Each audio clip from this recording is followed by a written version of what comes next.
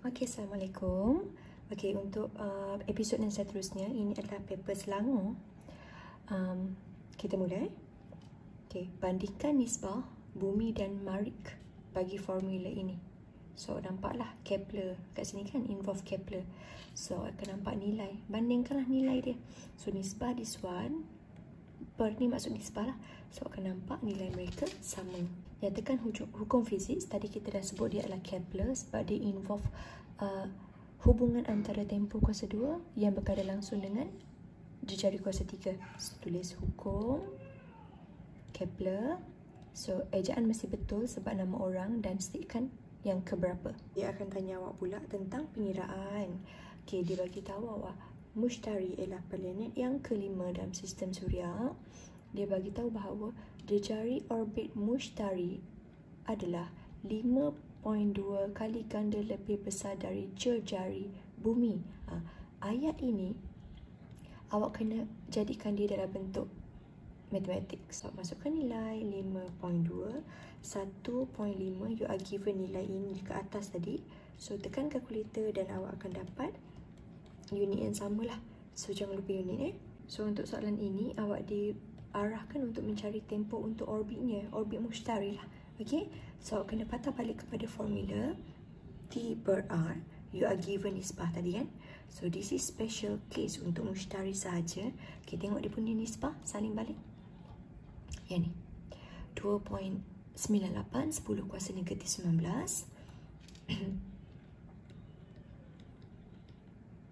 okay, barulah awak masukkan nilai yang tadi dapat. Yang ke atas ni masukkan kat sini. Jangan lupa kuasa dia. So, TM square. Okay, masukkan nilai. 7.8, 10 kuasa 11, kuasa 3. Yang ni saling balik. Okay, jadikan TM seorang-seorang. Okay, yang this one akan darab lah. Betul. So, untuk jadikan dia square tu pindah. So, dia, at the end dia akan set. Okay, dan awak kena pastikan jawapan awak akan dapat 3.7610 kuasa 8 saat. Unit jangan lupa. Okay, terus eh. Check your answer. Soalan seterusnya berada di nombor 5, tajuk haba. So, kita tengok soalan pertama eh. First, awak boleh kaji dululah gambar. Kalau saya selagi suka pelajar, masa panjang, tengok dulu soalan. Ada satu periuk tanah liat, ada lagi satu periuk kubra. Okay, jisim sama. So dekat sini fixed variable awak ialah mass. Okay, so sekarang awak nak tengoklah apa responding yang berubah dan apa manipulated yang awak buat. Okay, ni the first one, ini the second one. Maknanya manipulate menyebabkan respon. Okay, so uh, jumlah haba yang sama. So selain mass awak ada jumlah haba yang sama dan selama masa yang sama 10 minit. So kita tengok. Yang berbeza di sini awak akan nampak uh, muatan haba tentu bahagian atas 5.1 besar. Nampak 900 tu. Dan uh, muatan haba tentu untuk 5.2 kecil. Okay, boleh plan your idea first. Kemudian awak akan kata kenaikan suhu dalam masa 10 minit tu yang ni dia punya naik sikit sangat. Perubahan uh, perubahan suhu kecil. Sedangkan perubahan suhu untuk gambar raja ini adalah besar. So ni antara yang awak um, uh, lihat. Okey. Apabila awak manipulasi, awak akan nampak suhu yang berubah itu besar atau kecil. Okey. Maksud apakah maksud muatan haba tentu? Kuantiti fizik dia adalah C. So akan tulis based on formula tapi awak kena karang sikit eh sebab awak tak boleh bagi rumus, tak boleh. Okey, darab pindah jadi bahagi. So, kita start dengan kuantiti tenaga. Kuantiti tenaga ataupun kuantiti haba yang diperlukan untuk menaikkan suhu. Kenapa saya kata suhu? Sebab saya jumpa dekat sini. Formula theta.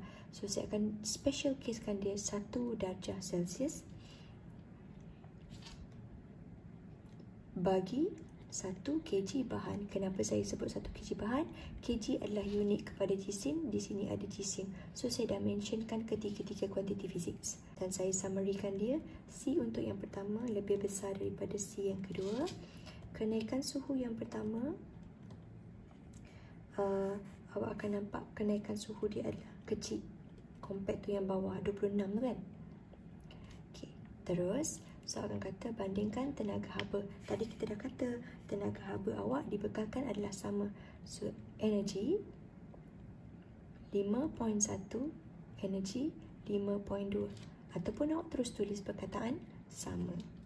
Okey, apakah hubungan? So macam biasa semakin okey, item pertama ialah muatan haba tentu, item kedua ialah kenaikan suhu.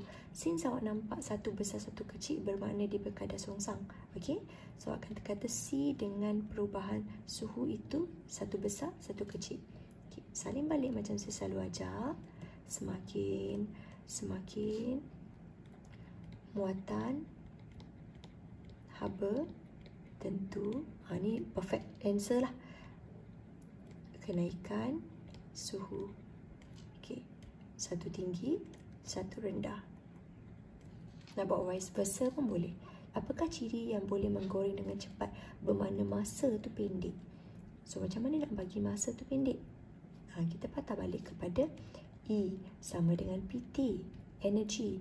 Dan energy adalah benda yang sama kalau saya tukar kepada energy of heat haba MC theta. So kalau saya samakan mereka, awak akan tahu ini, hubungan ini. KT, awak nak cari hubungan dengan siapa? C lah. Okay, saya ambil C. Eh. So untuk dapatkan C yang rendah, T pun akan rendah. Mereka berkadar terus. So bila awak nak buat hubungan ini, pastikan P, M dan theta akan menjadi malar. Barulah ini akan dijadikan tulang ikan. Persamaan akan jadi bentuk hubungan jika kuantiti fizik yang lain delete. Kita anggap malar, delete. Barulah awak tulis, cirinya ialah menggunakan muatan haba tentu. Okay, ini rendah eh. So, kena mention juga rendah. Eja eh, R-E-N-D-A-H. Jangan guna anak panah macam ni, tak boleh. Apakah bahan untuk pemegang? Pemegang, kita tak nak pemegang yang menyakitkan tangan kita nak pemegang yang sejuk tangan kita tak cedera so pastikan awak stikkan bahan mungkin bahan tu daripada kayu contoh mungkin daripada plastik. Okay next. Sebab kenapa awak kata sebab awak nak pilihan awak ini? Nah ni kenapa awak mention kayu? Okay so awak akan kata kayu ini mempunyai muatan haba tentu tinggi. Kenapa saya kata tinggi? Tadi kita kata hubungan dia macam ni kan? So, bila kayu dia lambat panas, masa untuk dia panas itu sangat lambat. Bermakna C dia akan menjadi sangat besar. Okay, ni awak kena hafal ni je. Okay, ini adalah uh, request question daripada students. Mereka request untuk tajuk inilah. Otik eh. Tapi untuk 10-11 saya akan record untuk day tomorrow. Sebab ini adalah topik tingkatan 5. Okay. So kita tengok pemantul cekung Awak ada bentuk cekung macam ni Itu Alright. So awak ada mentor juga Soalan pertama tanya apakah titik fokus? So akan kata titik Mesti awak akan Salin balik. Titik di mana semua sinar Cahaya yang selari Akan ditumpukan Selepas pantulan oleh cermin. Ha, apa maksud ayat tu kalau awak tengok skema? Skema tu cakap macam ni. Next, pengiraan kan? Jarak. So, bila dia tanya jarak, awak kena masukkan nilai lah. Okay, untuk soalan B, soalan tanya uh, jejari kelengkungan diberi 10. So, bila dia tanya cara, cara untuk tahu jarak, mana nak letak untuk berada pada paksi utama, awak terus jambil nilai 10 cm tu. Okay, next soalan C Awak diarahkan untuk complete the lintasan. So, kena buat draw lah. Okay. So, kita tengok gambar aja. Soalan bagi awak dua markah. Pastikan ada arahan nak panah Dan ada garis. Kalau saya buat garis Ni lintasan. Lagi satu garisan normal. Ah, Okay. Jom kita tengok. So, apabila awak ada sinar dekat sini sinar ni dia tak boleh gini je. Dia kena dipantulkan dulu so ini markah yang pertama untuk garisan normal dan lintasan. Ha, baru dapat satu markah. Markah kedua awak kata dia dipantulkan. Ha, baru dapat another satu markah sebab ada anak panah. Ini modification lah awak akan pilih um, sebab dia nombor tujuh. So dia akan dalam bentuk macam ni. Point and point dua markah. Okay. So ini adalah tentang maklumat titik fokus dengan apa yang awak tahulah. Dekat mana kedudukan mentol untuk lampu depan kereta awak dapat lihat objek yang dekat dan juga objek yang jauh. Bila? Pada waktu malam. Okay, kita tengok eh. So dekat sini the best adalah awak akan pilih Okay, kita bandingkan dulu lah. Right. Ah, ini. Ini gambar lampunya begini. Ini gambar lampunya macam ni dan ini gambar lampunya macam ni. So dekat sini awak akan tengok titik fokus adalah yang terbaik apabila uh, awak memilih ini. Pertengahan ni. So pada pertengahan ni awak ada satu uh, mental cue yang berada pada titik fokus. Selebihnya tidak berada. So pilihan saya akan kata X. Jom kita tengok. Okay, mental P dia berada dekat atas sikit kan? So, bila dia ada letas atas sikit, awak akan kata mental P itu berada dekat. Dia tidak berada di situ tau. Tapi dia berada dekat dengan titik fokus. Sedangkan yang Q tu awak, awak kata dia berada di titik fokus. Ha, itu yang paling rapat yang menyebabkan uh, awak nampak dengan jelas nanti. So, awak tulislah. Cahaya akan terbantuk rendah. Maknanya dia elak silau macam tu.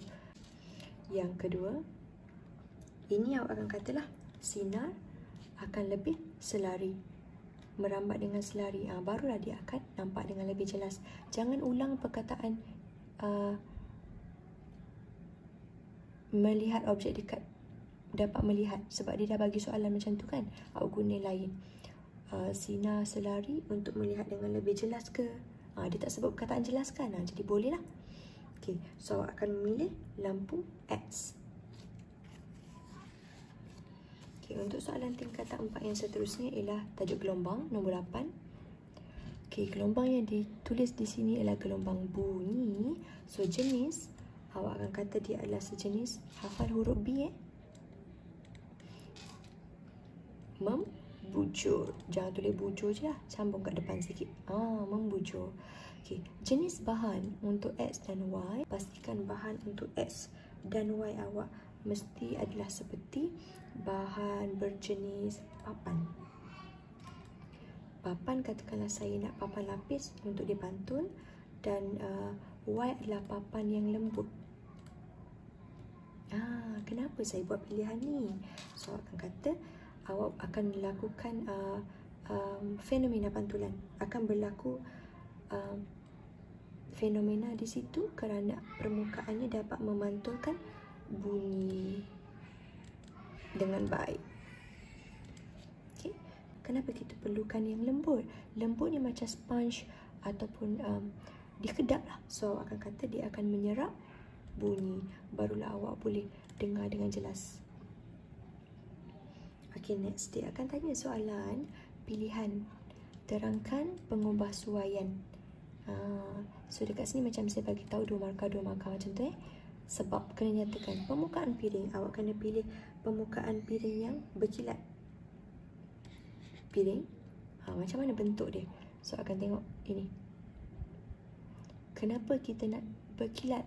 Sebab awak nak didihkan air. Ini awak punya projek sebenarnya. Awak nak guna tenaga suria. Permukaan berkilat. Okay.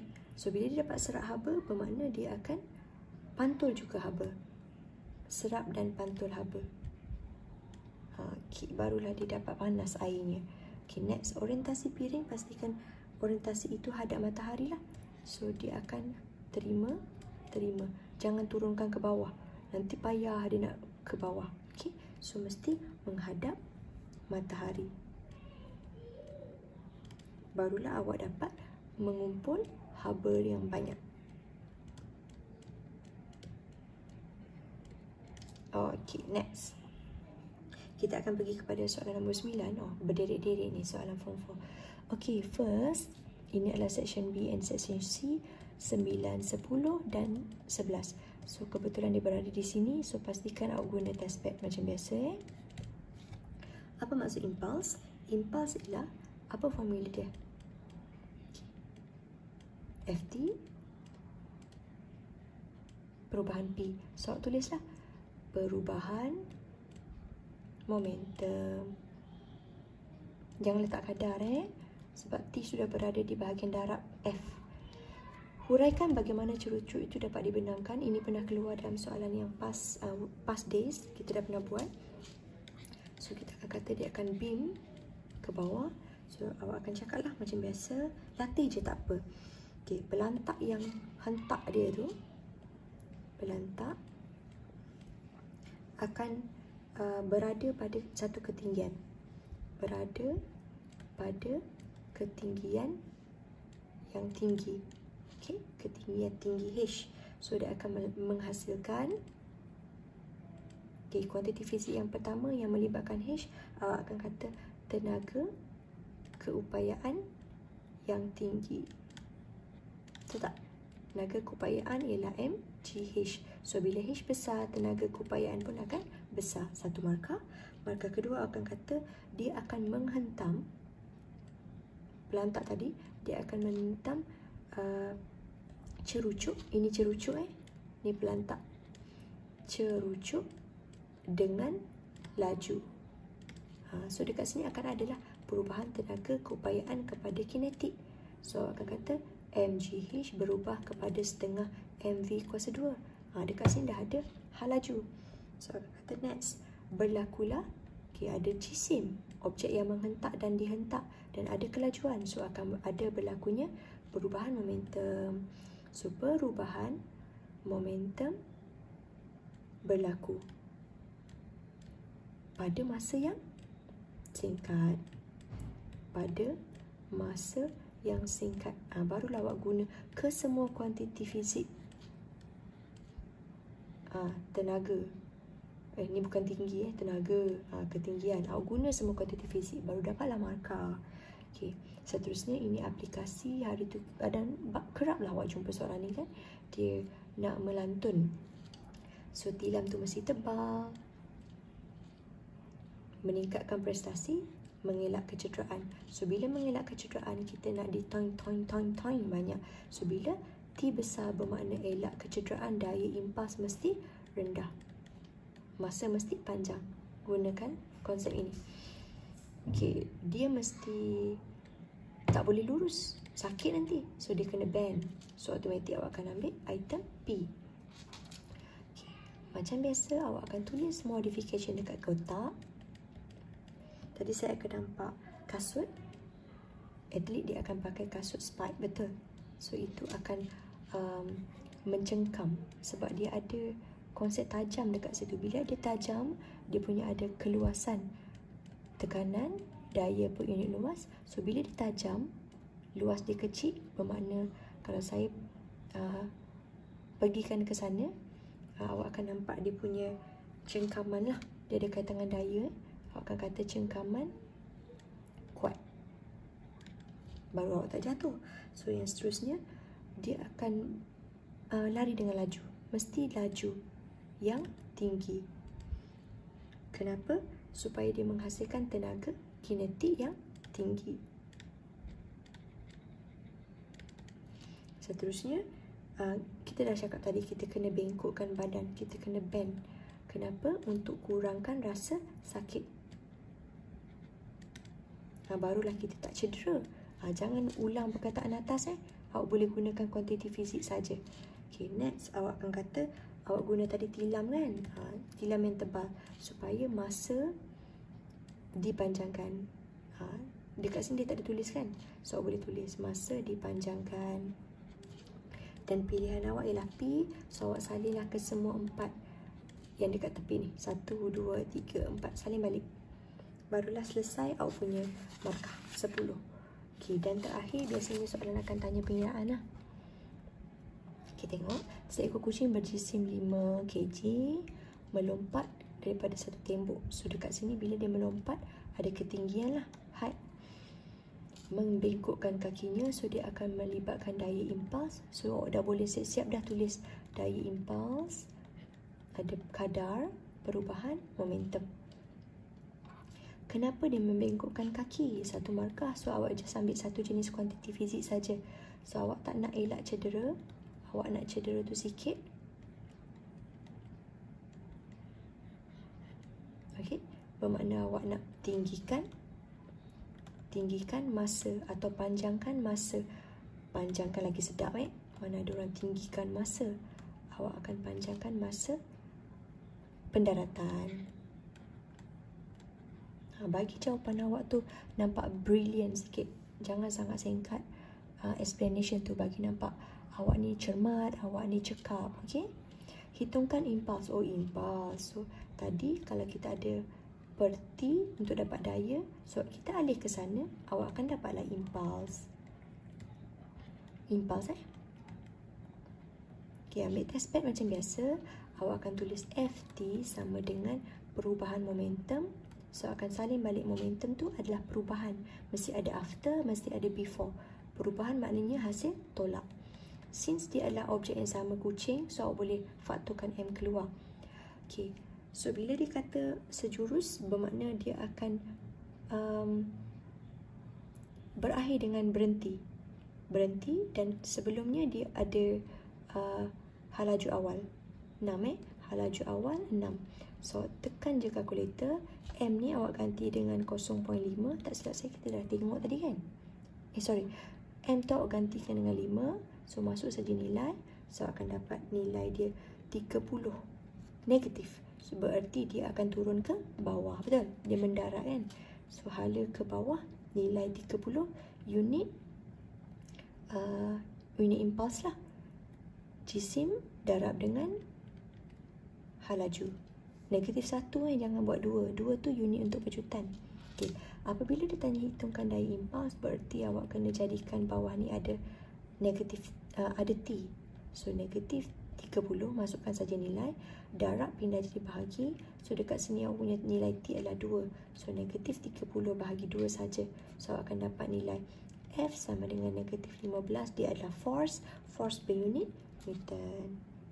Itu saja untuk hari ini terima kasih. Jumpa esok